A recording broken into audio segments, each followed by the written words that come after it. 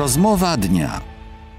Gościem sygnałów dnia jest pan poseł Krzysztof Gawkowski, e, poseł Lewicy, szef klubu parlamentarnego. Witam bardzo serdecznie. Dzień dobry panie pośle. Dzień dobry pani redaktor, witam państwa. Mm, panie pośle, zgodność w polskim parlamencie, taka mm, całkowita zgodność, rzadko się pojawia. Wczoraj się pojawiła.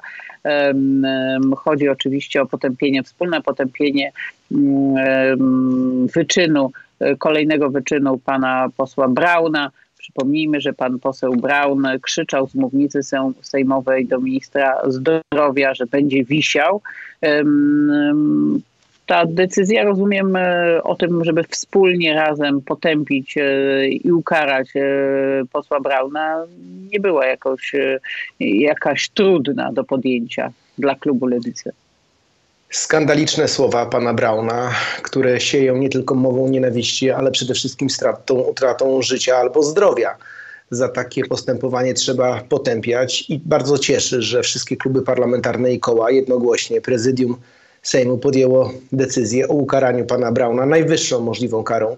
Najpierw został wykluczony z obrad do końca posiedzenia, a ponadto będzie tracił też środki finansowe.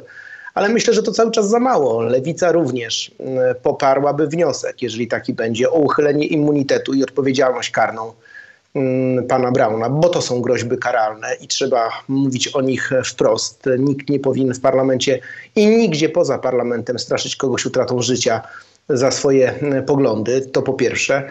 A po drugie, ja mam wrażenie, że z panem Brownem jest coś nie tak, nie tylko na polu takim politycznym, politologicznym. To, to, to jest człowiek, który z pełną premedytacją realizuje takie rzeczy.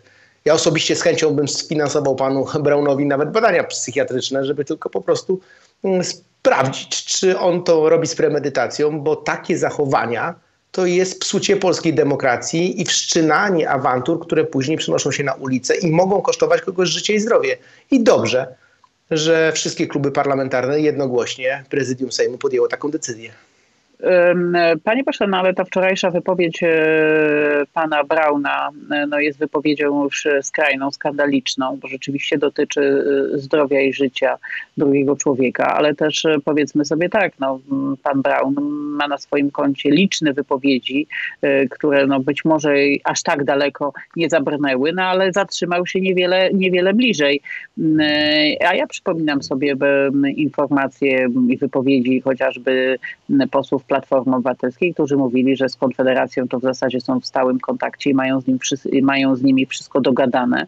O tym wspominał chociażby pan poseł Nitras.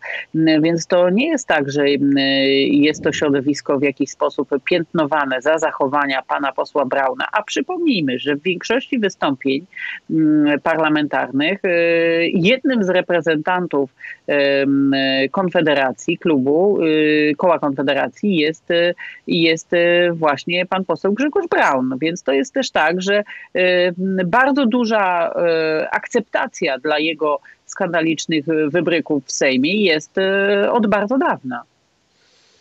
Pan poseł Brown jest przedstawicielem środowiska, które mm, akceptuje i toleruje go, pomimo że w Konfederacji pewnie są ludzie, którzy im się to nie podoba i to potępiają. Ja uważam, że my wszyscy, również posłowie Konfederacji, powinni potępiać takie zachowania, mówić o nich wprost. A jak wczoraj słuchałem pana Korwina Mikke, który wieczorem w audycjach telewizyjnych próbował usprawiedliwiać mm, pana Brauna, to pokazuje, że tam nie ma zrozumienia dla tego, co się wydarzyło. Jeżeli jakiś poseł, posłanka, w ogóle człowiek straszy drugiego człowieka utratą życia za swoją działalność polityczną, społeczną, to to jest groźba karalna, to jest kodeks karny, za to się idzie do więzienia. Im szybciej wpłynie wniosek do prokuratury od pana Niedzielskiego, im szybciej będzie głosowanie o, no, o zdjęcie immunitetu, tym lepiej. Mam nadzieję, że po tym zachowaniu droga i ścieżka będzie bardzo prosta. Prokuratura postawi zarzuty, parlament ucholi immunitet, będzie skazanie przez prawo, wyrokiem sądu i prawomocne jego zakończenie i na koniec utrata mandatu. I to jest droga, która moim zdaniem powinna skutkować w przypadku ludzi, którzy nie szanują innego człowieka.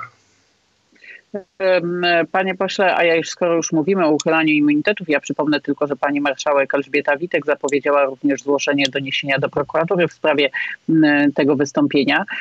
To zapytam pana, jak pan patrzy na to, już około 180 dni w Senacie przetrzymywany jest wniosek o uchylenie immunitetu pana marszałka Tomasza Grodzkiego. Ja pytam o to przetrzymywanie, bo rozumiem, że Senat mógłby głosować, mogłaby większość senatorów uznać, że pan marszałek nie powinien stawać przed sądem, nie powinien tam składać wyjaśnień i bronić swojego dobrego imienia. Ale jak pan patrzy na to przetrzymywanie? Przypominam sobie, jak w pierwszej kadencji Prawa i Sprawiedliwości wnioski w polskim Sejmie dotyczące polityków Prawa i Sprawiedliwości czy senatora Prawa i Sprawiedliwości również bardzo, bardzo długo czekały po pół roku na rozpatrzenie. Ale ja ufam w roztropność i niewinność pana e, marszałka profesora Grodzkiego. Jestem przekonany, że w dużej mierze to jest też takie szczucie polityczne na niego po to, żeby pokazać, że gdzieś coś ma za uszami. Ja znam człowieka, znam jego osiągnięcia medyczne. Jest, uważam, uczciwym obywatelem, który jest dzisiaj niestety wabiony przez takie doniesienia albo próby jego oszkalowania. Ja się na nie nie zgadzam, ale jestem przekonany, że wcześniej czy później dojdzie do głosowania w Senacie w sprawie zdjęcia immunitetu i też pewnie wystąpienia funkcjonariuszy publicznych, którzy o to wnioskowali. No dobrze, ale ta sytuacja jest o tyle taka też bulwersująca, że w gruncie rzeczy pan marszałek w tej sprawie jest sędzią we własnej sprawie. E, każdy inny obywatel na jego miejscu, bez względu jak pan by tego obywatela oceniał, jakbyśmy oceniali, musiałby po prostu stanąć przed sądem i przed sądem e, składać dowody swojej niewinności, a pan marszałek może po prostu zablokować e, ten obowiązek wobec siebie i ja pytam, jak pan to ocenia, bo, bo, rozumiem, że pan e, by, jeżeli byłby pan senatorem, głosowałby pan przeciwko uchyleniu immunitetu, tak rozumiem pana wypowiedź, ale nie rozumiem, dlaczego pan marszałek e, Tomasz Grodzki jest rozlicz, rozgrzeszany z tego, że we własnej sprawie wstrzymując konieczność stawienia się przed sądem, no działa jakby i, i nie spotyka go za to żadne takie napiętnowanie. Ja jestem przekonany, że ten wniosek stanie wcześniej czy później na Senacie, tak jak stawały w Właśnie, w poprzedniej kadencji. Wcześniej czy później, jest już i tak dość późno. No ale dobrze, tak, no, jeżeli, jeżeli takie rzeczy się senatorem, zdarzały, to też je potępijmy. Możemy nie je jestem, potępić, nie ma problemu. Nie jestem senatorem, ale jestem przekonany, że uczciwość marszałka Grodzkiego nie ulega wątpliwości. Będzie wniosek wcześniej czy później, ale naprawdę nie porównywałbym nie, na żadnym polu tego, co powiedział nie, marszałek ja nie, Grodzki ja z tym, co się dzieje, jeśli chodzi o pana, pana Mm, nie, pana nie, Brauna. Nie, tak, pani dyrektor nie porównuje, zgoda, tylko ja tylko pokazuję, że e, połączyliśmy jakby sprawy.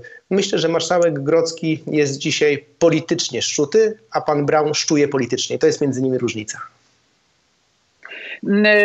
Panie pośle, e, wczoraj decyzja Parlamentu Europejskiego, ja już wcześniej w 7.15 z panem ministrem Czarnkiem, Przemysławem Czarnkiem rozmawiałam na ten temat. Również panu chciałabym zadać pytania dotyczące tej rezolucji, która wyszła, e, którą poparła większość parlamentarzystów europejskich. Chciałam pana zapytać, na jakiej podstawie Parlament Europejski stwierdza, nieważność y, jednej z konstytucyjnych instytucji Rzeczpospolitej Polskiej.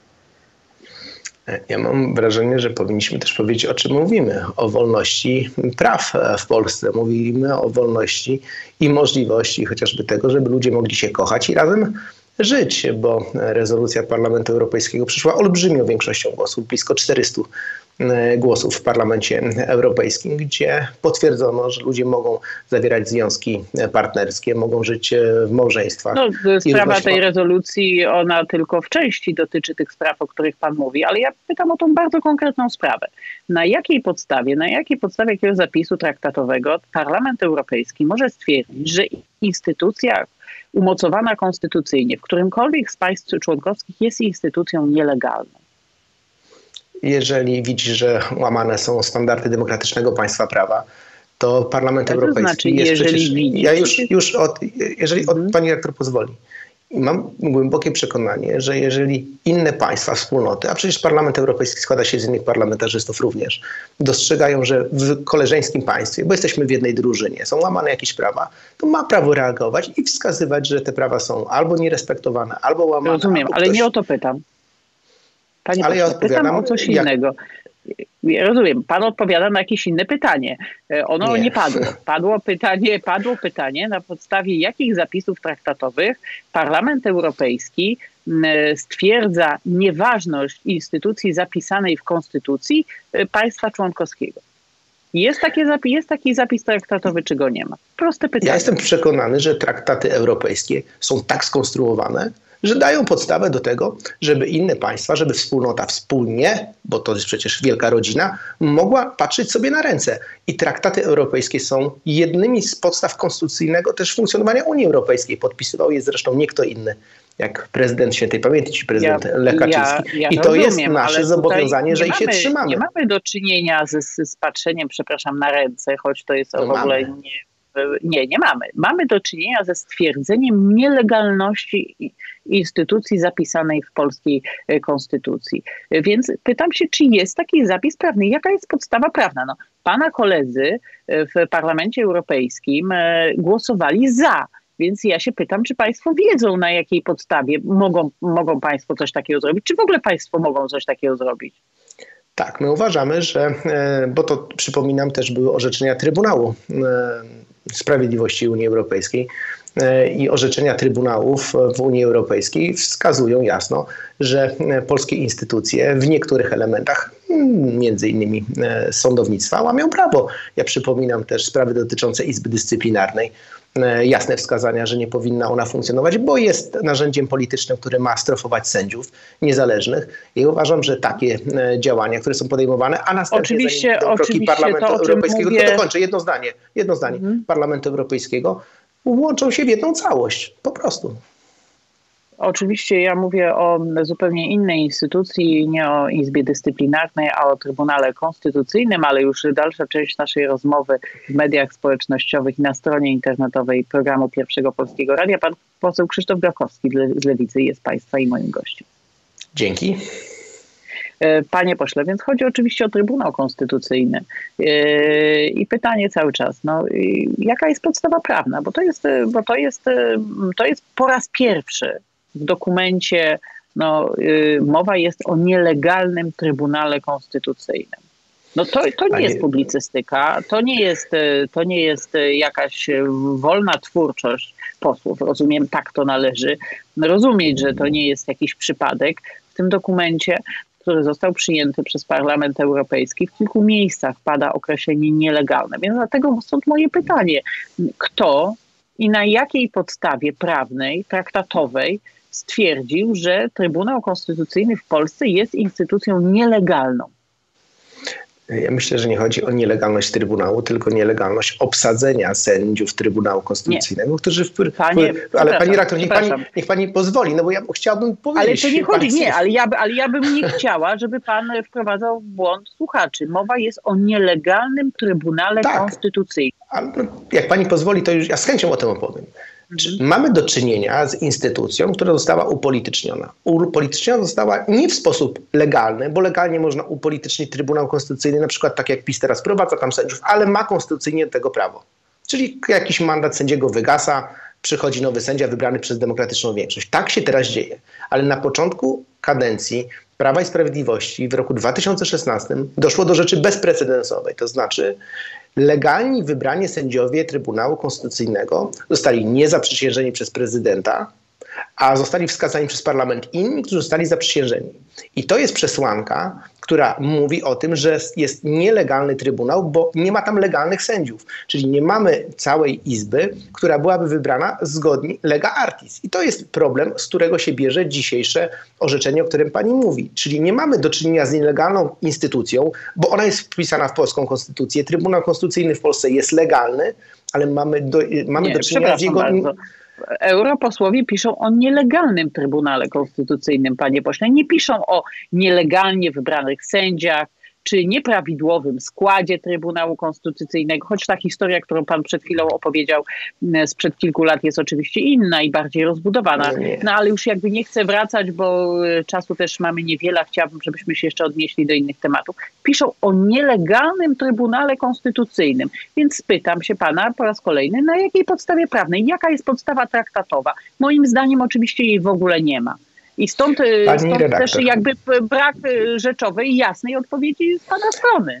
Tak, dlatego oczywiście. No, dopatruje znaczy... jakiejś innej interpretacji, ale tekst jest tekstem. Panie to redaktor, nie jest ja poezja. Do... Panie redaktor, no jak panią lubię, tak muszę pani też raz odpowiedzieć. Mamy do czynienia z, mm, z, przedstawieniem sytuacji, która dotyczy wątków prawnych sprzed pięciu lat, które wskazują, że nielegalne są dzisiaj orzeczenia Trybunału, bo po prostu są tam sędziowie nielegalnie wybrani. A że mamy z nazewnictwem do czynienia, to wie pani doskonale, że w świecie prawników i takiego werbalizowania, wpisywania różnych elementów pojawiają się różne słowa, które później można nadinterpretować. Ja wiem o co chodzi. Chodzi nie, o to, jak, że po prostu przepraszam. mamy Mamy sędziów Trybunału. Tutaj nie ma, ma... Y, innej interpretacji. Nielegalny jest. Trybunał Konstytucyjny, to przepraszam, to jest jaki? Le nielegalny to jest legalny? Pani redaktor. Nie, no nielegalny to Ja nie zmienię zdania w tej sprawie. Ja uważam, że Trybunał Konstytucyjny w Polsce działa nielegalnie. Ja się nie zmienię zdania w tej sprawie, pani redaktor. Y, rozumiem, że pan może mieć taką opinię, natomiast zastanawiam się, na jakiej podstawie instytucja Unii Europejskiej, jakiej podstawie prawnej, bo ja nie pytam o przekonania, o odczucia czyjeś, o czyjeś sympatię lub nie, brak sympatii. Pytam o podstawę prawną.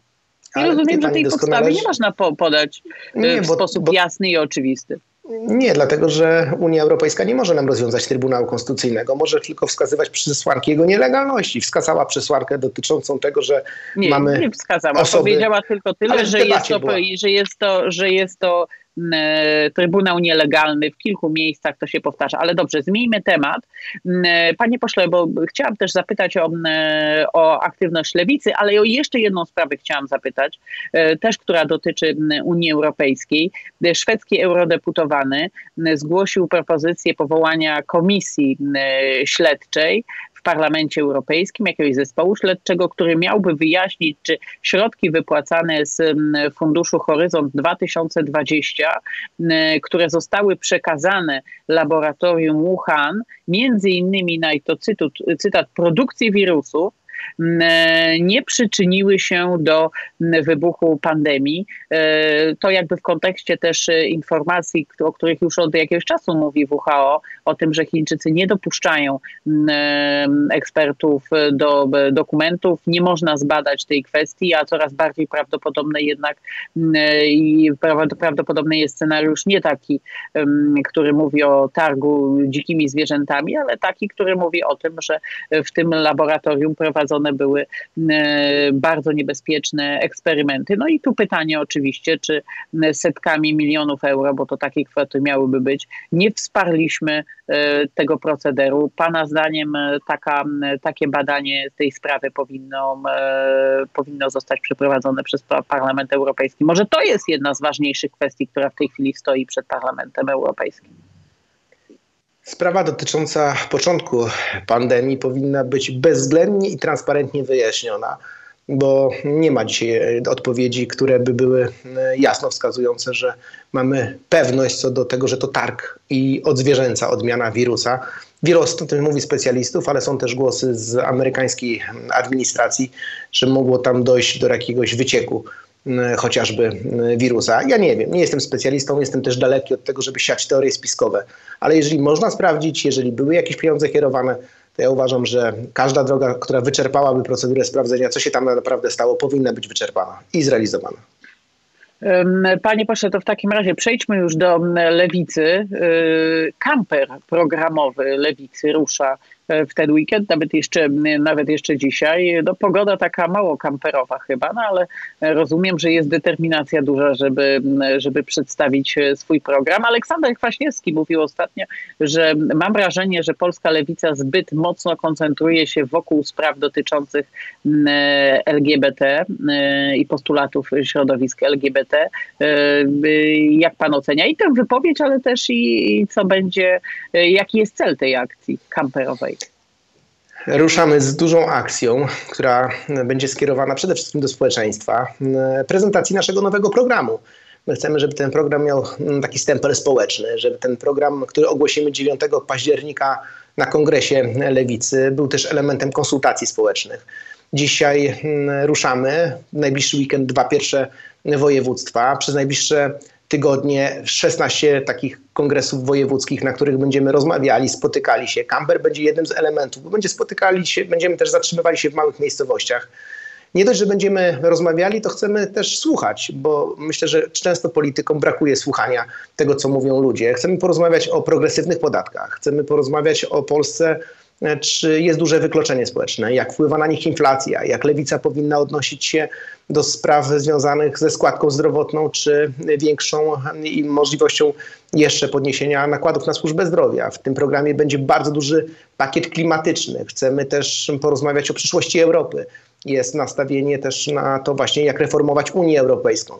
To są tematy, które dotyczą Polaków, dotyczą ich przeszłości. To jest taki program, który ma być spięciem najbliższych pięciu lat, żeby to nie był program na chwilę, bo czasami inne partie opozycyjne robią te programy tylko wyborcze. My chcemy pokazać, że mamy kompleksową receptę dla Polski, która dotyczy edukacji, nowych technologii, innowacyjności, która stawia też nacisk na obronność, na sprawy wewnętrzne, na większe pensje dla budżetówki, na ochronę zdrowia po covid -zie.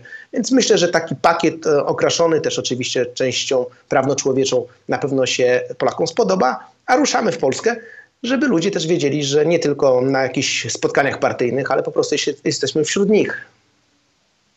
Mm, panie pośle, to od razu zapytam o, mm, o debatę w Sejmie i głosowanie w sprawie tej propozycji Prawa i Sprawiedliwości większości rządzącej, która jest elementem Polskiego Ładu. Domy do 70 metrów kwadratowych e, bez e, pozwoleń, tylko na zgłoszenie, bez zbędnych formalności, bez dziennika budowy, bez kierownika budowy. Jednym słowem takie bardzo, bardzo mocne uproszczenie procedur dla tych, którzy taki dom chcieliby postawić. Dlaczego Państwo są przeciw? No bo to, to nie jest zła propozycja generalnie. Ja uważam, że też społeczeństwu trzeba wychodzić na rękę, są takie oczekiwania, ale Prawo i Sprawiedliwość ma jakąś manierę wprowadzania do różnych ustaw przepisów karnych. Na przykład tutaj jest przepis, który grozi karą 8 lat więzienia za to, że ktoś jak wybuduje dom, to nie będzie mieszkał. No, no, ja nie rozumiem tego. A jak ktoś na przykład po trzech latach stwierdzi, że chce się wyprowadzić z tego domu, no to po co ta kara 8 lat więzienia? To jest dla mnie coś nieprawdopodobnego. My zwracaliśmy uwagę politykom i polityczkom PiSu, wykreślcie ten zapis. No po co karać 8 lat więzienia za to, że dom wybudujesz i będziesz później nie mieszkał w nim po jakimś czasie? No mówią, że Chodzi o to, żeby to było uczciwie. No ja rozumiem, no ale to, to, to chodzi o to też, żeby no, nie wpadać w paranoję. No karać za to, że ktoś pobudował dom i nie zamieszka w nim. No, no ale wie pan o tym, że ta kara nie byłaby, przepraszam, dla kogoś, kto by sprzedał dom. No. To, to w ogóle nie o to chodzi. No byłaby dla tego, który by nie. A jak na przykład ktoś pobuduje dom sobie no, no nad jeziorem, będzie miał pozwolenie, no i tam będzie mieszkał na przykład trzy miesiące w roku, albo na przykład rok nie będzie mieszkał, bo przyjdzie jakaś pandemia, no to co? No wtedy prokurator ma szansę zgłosić to na jakiś wniosek o karanie i 8 lat więzienia. No, no po co takie rzeczy w przepisach budowlanych wprowadzać? Tylko z tego powodu, bo przecież w dyskusjach tak. Państwo podnosili, podnosili też zupełnie inny powód. Ale że to jest główny nie powód. będzie kierownika, kierownika budowy, że nie będzie dodatkowych, dodatkowych no, obostrzeń takich związanych z dziennikiem budowy i tak dalej, i tak dalej.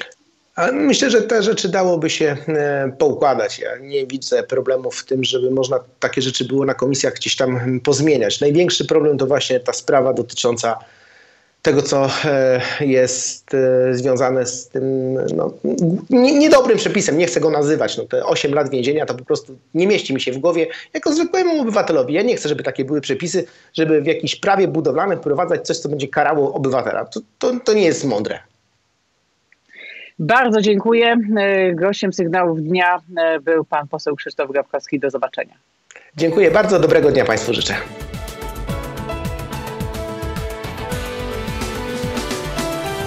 Była to rozmowa dnia. Udostępnij ją portal informacyjny polskieradio.pl.